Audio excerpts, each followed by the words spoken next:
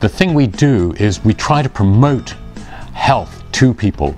And there are, I guess, three different aspects to that. One is educating people about their health and how to maintain their health. The second one is educating people about how their healthcare services actually work. And the third one is how do we actually influence policy? How do we influence the laws and the rules and the regulations that help us to maintain health in this country. Our students enjoy this major and find that it's, it's really good for them because it prepares them. And one of the things that makes our major actually really stand out is that we do give so much opportunity for our students really to get out and actually work in the community.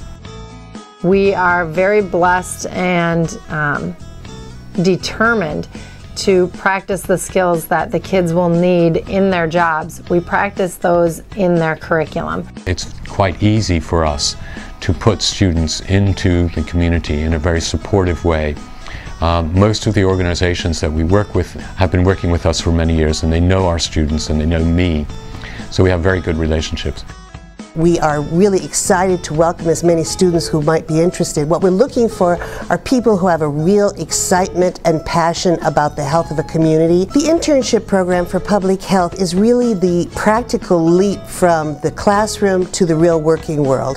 You will work with a public health department approved supervisor out in a real work site situation and do work for that, that site that's applied to the real community and that will give you real world experience and things you can put into your portfolio when you're out applying for work as well.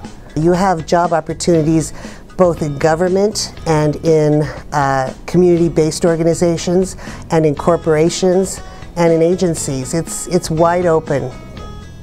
Public health major um, requires people to have a 2.5 GPA before they go out to intern, which is a very doable GPA the way that we mentor and monitor our students the entire way through. Students most of the time have no difficulty with that GPA.